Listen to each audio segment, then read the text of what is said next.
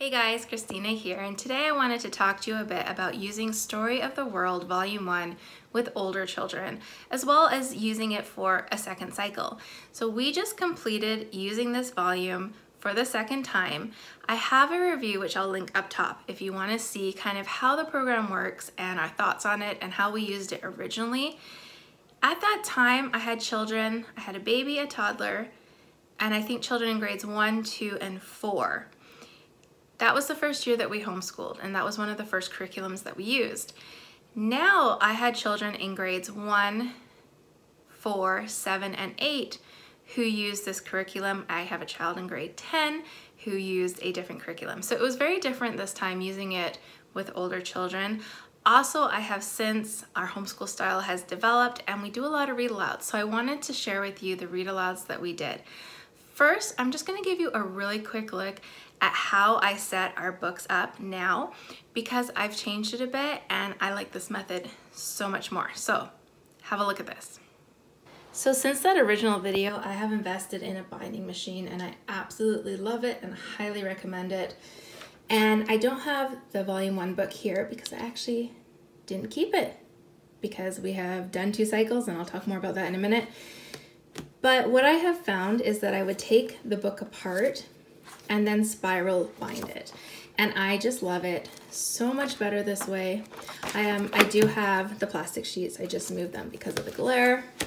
And then I put the answer key to the test at the back as well as the map answer key. But I just found this so much more user-friendly than all the binding sheets or the page protectors that I'd used before.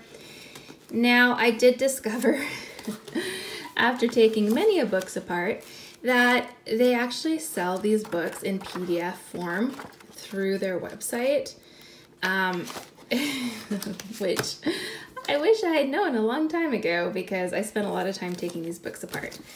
But the Well Trained Mind does have that on their website. I think when this video comes out might be their big sale of the summer too. So that's really helpful. Plus you don't have to worry about making photocopies of the student pages if you're using them because you can just print them. So I just wanted to give you a quick look at that, that I much prefer the way that I have kept them now. It's more compact. I only have what I need and then getting the download, which I did for the volume one, just makes it so much easier. So then what I do for the kids is I do these little books. I found that doing the maps small and doing two per page, that it really works out just fine. They're still big enough to see everything, um, but it saves a lot of paper because Story of the World can take up a lot of paper. I do the same thing with the tests. I do them two to a page, and then I print them this way and I bind them. And I just have like a divider in between. It's just less paper, easier, and simpler, which I think is something I really have loved changing and getting more into as we homeschool because when you homeschool five kids, you need simplicity. So I just wanted to give you a quick look at that kind of setup because I highly recommend doing it this way, printing it yourself, not taking the books apart, um, but get a binder. It's, it's definitely worth it. So first let me just address that my child who's in grade 10 did a different history. Because he's in high school, he has different goals he's working towards and he needed a more in-depth history. However, I still felt this program was very appropriate for my children in grades 7 and 8, so they joined my younger children, and that's why this is more kind of for older children this time around. Some things we didn't change. We still, of course, read the book, Although a number of years ago I discovered that my local library had the CDs and so I would switch between listening to the audio and reading when I had to return them to the library. My current library does not have it unfortunately so I did buy the um, MP3s when they were on sale. So we listened to it this year instead of me reading. Because I was reading a lot with read alouds and it just helps save my voice. So that's one change we made. But we still listen to it and then in the little book here, there's still all the different things. We still did the review questions. I would specifically ask children questions. The narration exercises, I tend just to actually read what they write here as a little summary to my children instead of having them narrate it back. And then we did the map. I did not have my child in grade one do the map, um, but he was still there. He was listening and he, he definitely took a lot and He answered questions, but I didn't feel he was old enough for the map. And then I had my older children do the quizzes. I always let my children, I ask them to go through the quiz once, and then they're welcome to take the book to look up the answers to the quiz because I don't want them just to get it wrong and to uh, like be told the answer. I want them to find the answer themselves. I feel like they're gonna remember things better that way. So I would let them do that. And that's kind of what we did with the book itself. When you look at the book here, there's extra additional history reading and corresponding literature suggestions for each chapter. I still took out a lot of library books. I would go a couple weeks in advance to my library website and put a bunch on hold and just kind of strew them around, get them out. I had a few that I required my children to do as independent reads. Um, I think I'm just gonna link them in the comment section down below or that little info section. So you can take a look there if you want to see the read independent reads that I had them do.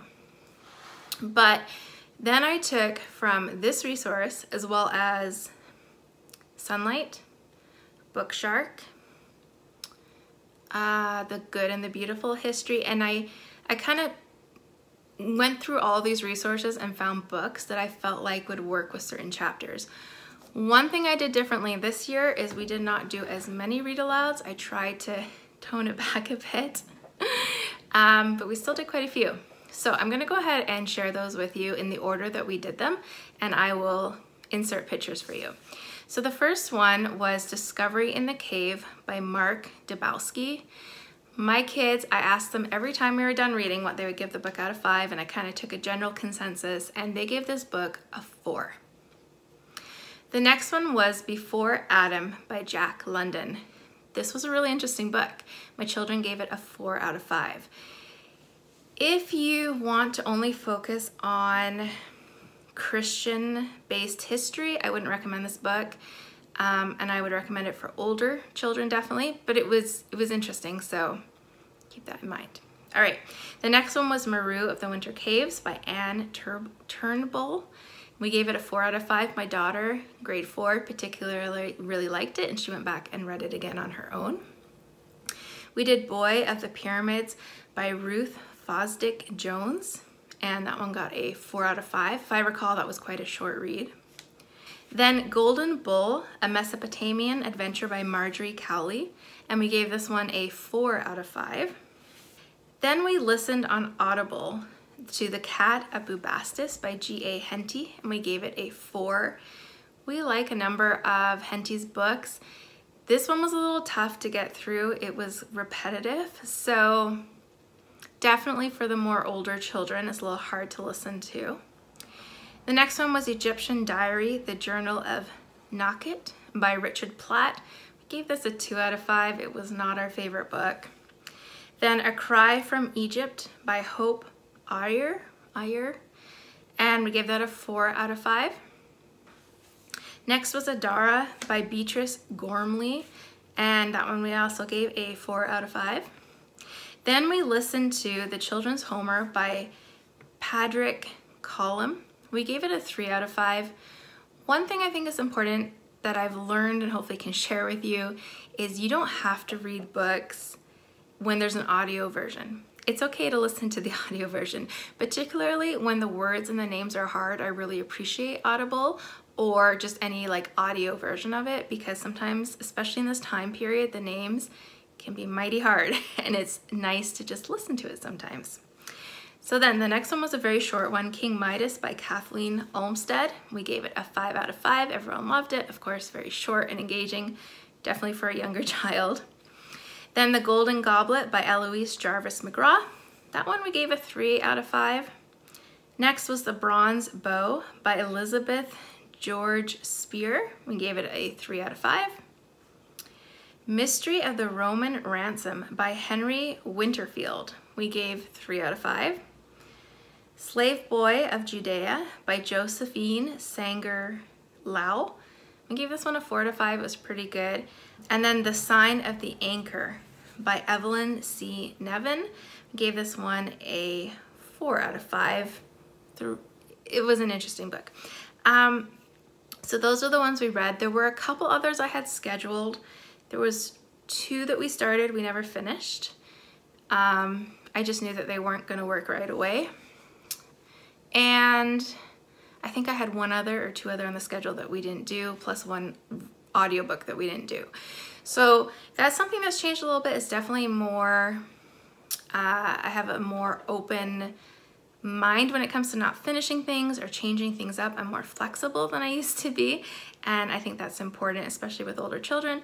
They're sick, there's activities, you know, life happens. So that's what we did. So I'll list the independent reads down below for you. So the other thing that we did was art. Now when the children were younger, we did art like almost every chapter I think we did something, or at least every other one. That really changed with older children. I planned to do six art projects and we ended up only doing two. That's it. I found a number of years ago that doing art as a family in the evening, like a Friday or a Saturday, was really the best option for our family. When the kids were younger, I had my husband an extra set of hands to help, but I just, it just feels better, it works better. We all do it together, we talk. So we only did two art projects, which maybe that's just because the children are older and timing. Um, a little sad we didn't do more, but the two that we did, we really enjoyed doing together. Now, one of the things I mentioned last time I did Story of the World was that I felt like the maps were kind of too closed in. We couldn't really, like you needed to have a map of the whole world and know what part of the world you're talking about. So this year we actually did Understanding Western Asia by the Great World Adventure while we were doing Story of the World Volume 1. I have an entire review on this that again I'll link up top somewhere. It's geared for 12 and up, but it works for a little bit younger children. I'm not gonna go over it too much because like I said, I have that review, but it really, I found it super helpful to have that information on the history, but also the current of the location we were talking about. I just found it really helped to bring everything together to get a better understanding of cultures and traditions and kind of how they started and how they have continued in some ways. So I highly recommend if you have older children, checking that out and doing it together with Story of the World, the volume one. I just found it, it was really helpful. Highly recommend this. I'm trying to think if there's anything else. That's kind of our experience doing Story of the World both a second time and with older children. If you have done Story of the World a second time or with older children, leave in the comment section down below kind of changes or adjustments that you made, or if you have any questions for me, you can always leave them down there as well. Otherwise though, I hope this has been informative and helpful, and I hope this finds you having a great day. Take care.